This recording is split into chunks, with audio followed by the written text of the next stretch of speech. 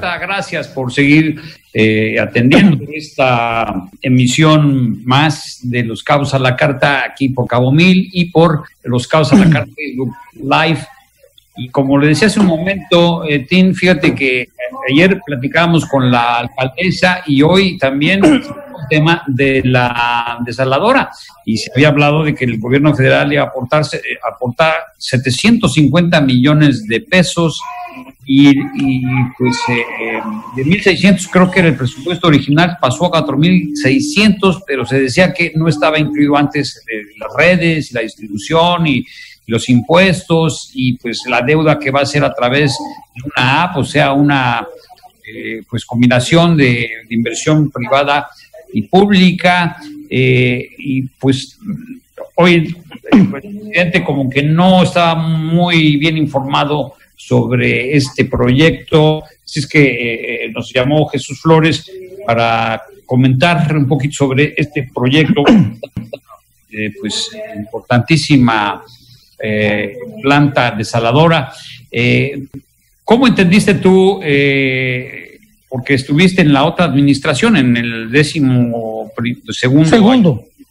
Los Cabos, y ya se habían presentado un presupuesto y no se cambió ahora? Este, pero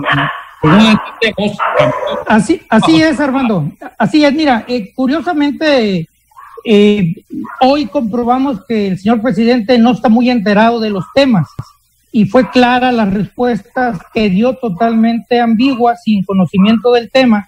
Y los funcionarios que han querido explicar también lo único que han logrado es confundir más a la población. Yo quiero, primero que nada, dejar muy claro que estoy totalmente de acuerdo que debe haber una planta desaladora, que los pues, que los habitantes de Cabo San Lucas necesitan indispensablemente el agua potable que ahorita no la tienen. Lo que no se vale es la incongruencia y el doble discurso que hoy esta administración está llevando a cabo.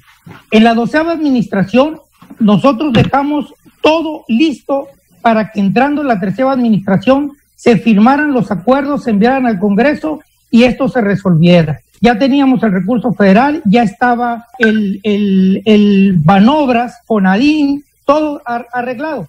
Sin embargo, eso no se llevó a cabo. ¿Qué fue lo que sí se llevó a cabo? Que durante la campaña se denostó, se evidenció, se descalificó una planta de tratamiento de agua que se estaba promoviendo por la doceava administración. Y 23 meses después, o sea, la semana pasada, después de una segunda visita del presidente cuando en la primera dijo que lo avalaba y ahora venía de nuevo y no había ese aval ya cabildeado, ya pasado por cabildo, ya pasado por el organismo. Entonces, fast track, la semana pasada se aprueba y se manda al Congreso. Y obviamente ahí los cambios son irrelevantes en cuanto al escenario técnico, pero exorbitantes en el número de costo que va a tener esta, esta, esta empresa. Se hablaba en la administración pasada de alrededor de 900 millones de pesos, hoy se está hablando de cerca de 4 mil millones de pesos. Y eso es lo que debe de haber mucho cuidado y debemos ser muy conscientes de lo que se está viendo, porque aquí se ve pura y llanamente una privatización del agua en lo que dura el mejoramiento integral de gestión. Para poder construir la planta y la empresa que licite salga favorecida, necesitan 10 años para el mejoramiento integral de gestión. ¿Qué es el mejoramiento integral de gestión rápido? Haz de cuenta que agarras un balde y lo llenas de agua, pero está lleno de huecos y se empieza a tirar el agua. Bueno, el mejoramiento integral de gestión tiene que tapar esos, bot, esos huecos que ese balde está tirando agua y son 10 años pero el convenio viene a 25 años, más los pagos, más los pagos que, se, que tienen que ser autorizados de, de, de, de todas las cuestiones técnicas. Y lo único que establece el punto de acuerdo de los 1.300 millones es que van a ser autorizados para adquisición de medidores, de telemetría, de sustitución de tomas de domiciliarias, etcétera. Pero para realizar el pago del organismo se está comprometiendo con ingresos propios o bien con un fideicomiso o con la APP famosa. Y obviamente aquí también viene la contradicción y ustedes me van a dar la razón. Si algo ha dicho la cuarta transformación es que está en contra de los fideicomisos y de los fondos. ¿Qué va a pasar? Ese es el tema. ¿Y hasta dónde se va a endeudar el ayuntamiento? Porque no lo va a pagar la empresa, lo van a pagar los ciudadanos. Que no traten de enredar diciendo que lo va a pagar la empresa y que va a ser, un, eh, que va a ser recurso privado. ahora, no, va, no va a poner eh, eh, pues, inversión propia. ¿Perdón? Que el ayuntamiento no iba a poner ninguna inversión si no es el inversionista privado. Claro, el ayuntamiento dice, yo no lo pongo, me voy a 25 años, pero en esos 10 años tiene que estar el organismo entregando una cuota mensual de recursos para que todo se esté llevando a cabo. ¿Y qué va a pasar? En ese tiempo, la empresa que va a estar manejando el, el, el MIG, el Mejoramiento Integral de Gestión, es la que va a estar generando tarifas y es la que va a estar generando cobros. Entonces, yo no digo que esté mal, lo que está mal son los presupuestos primero, que son exorbitantemente diferentes, casi 3.5 más que lo de hace dos años y medio. Y la otra es que se está endeudando a la población. Ahora, este Armando, les pregunto, ¿cuánto le ha dado los cabos a la federación? Si la federación dice, yo te la, yo te la construyo, en 900 millones de pesos la construye, como está construyendo en Tabasco situaciones, como, y también vale la pena como está echando abajo empresas que están a través de la APP. Ayer echó abajo una fertilizadora en Sinaloa que lo van a meter a consulta. Entonces, ese es el escenario que me queda a mí muy claro de que, de que lo que, de lo que se, de lo que se va a hacer es eso. Por ejemplo, escuchaba. A ver, una pregunta. a ver. Sí, sí, sí. Una pregunta. Originalmente, cuando dices que la 12 administración ya lo tenía todo listo, para que se fuera al Congreso y fuera autorizado eh, con un presupuesto de alrededor de 900 millones, cerca de mil millones. Lo que yo recuerdo en el, en, el escenario este es que cuando entra la 4T, llega López Obrador aquí a decir que nos va a dar mil millones para que construyamos la planta de salado. Ese numerito lo ha venido repitiendo este, la alcaldesa una y otra vez. Este, entonces, suponiendo que tengamos mil millones de la federación, para poder construir la, planta desaladora.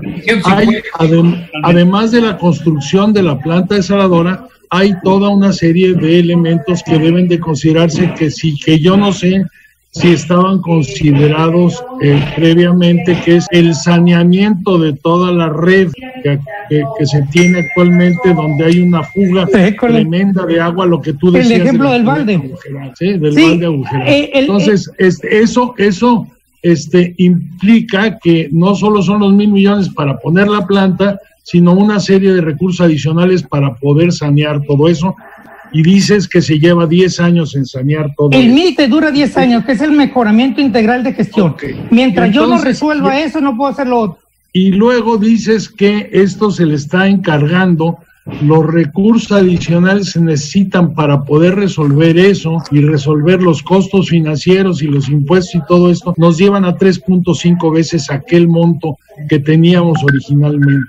Así es, tal cual. Entonces, ¿quién va a poner esa, esa lana? La van a poner los privados y entonces los privados tendrán que resarcirse de esa inversión cobrando una tarifa mayor. Así de fácil. Así de fácil, así está de claro. Ahora, este, nada más una, una última este, intervención mía. Sí nos van a cobrar más cara el agua, pero va a haber, a diferencia de que no haya y compre yo pipas. Lo que no se vale es el engaño, lo que no se vale es el doble discurso, lo que no se vale es que sigan tratando de decir que hacen las cosas bien cuando las hacen mal. El, el, sí, sí, Armando. No, no, termina. Sí, el, ayuntamiento dice que no colocará recursos municipales en esta licitación y que recibirán del Fonadín recursos del 49% y el resto lo aportará la empresa que resulte licitante. Pero lo que no están diciendo es que se va a endeudar el ayuntamiento por el aval que va a dar el organismo de 3.695 millones a pagar en 25 años, más los 1.300 millones del MIF que hablábamos, del mejoramiento integral de gestión, que sería alrededor de 5.300 millones de pesos que serán comprometidos los ingresos propios del organismo por los próximos 25 años. Eso no se puede evitar. La empresa que gana la licitación no es beneficencia pública. Va a hacer su negocio, por supuesto que lo va a hacer, y va a cobrar. Bueno, pues Entonces, pregunta, este, si no fuera en este esquema como lo están planteando, vamos a suponer que tú eres un auditor, te metes a revisar los números y efectivamente eso es lo que se tiene que gastar para tener un buen servicio de agua. Si tú fueras el presidente municipal de Los Cabos, ¿qué opción nos das distinta? La opción, mira, el asunto es que la opción estaba hace dos años y los que la denostaron hoy la están abrazando. Pero la que estaba incluida todo esto. Claro, por supuesto, era lo mismo, pero con, un costo 3.5 veces menor. Con mil millones. Exactamente, sí. Ahora, me queda claro que antes de licitar, también existen muchas aristas que no las están tomando cuenta, porque no hay seguridad en el lugar donde serán colocados los nuevos pozos playeros de absorción. Pues se encuentran los dos de la deseladora actual. Bueno, Jesús. Sí. Eh, el planteamiento está, está ahí, hay inquietud, hay, hay cuestionamientos y no lo vamos a dejar aquí, lamentablemente el tiempo nos limita, pero la semana que entra, pues buscaremos respuestas a estas eh, dudas, a estos... Sí, sí, sí mira, yo, yo, yo, te di, yo, yo termino y te doy las, y les doy muchísimo las gracias por, por aceptarme la entrevista. Termino con lo que empecé. Estoy consciente de la necesidad que tiene de agua potable Cabo San Lucas. Lo que no estoy de acuerdo es en el doble discurso y en el manejo perverso de cómo gastan más recursos haciendo lo que pudieron haber hecho hace dos años y medio. Y, una cosa, y una cosa que me queda clara, en la, la administración va a dejar deuda, pero desaladora no. Bueno, ahí está, ahí está el planteamiento. Eh, lo estaremos retomando más adelante en la semana próxima, por supuesto. Gracias, Jesús Flores. Para eh, servirte, para servirles. Eh, Gracias. funcionario, ex regidor del décimo segundo Ayuntamiento de Los Cabos, o sea, el anterior.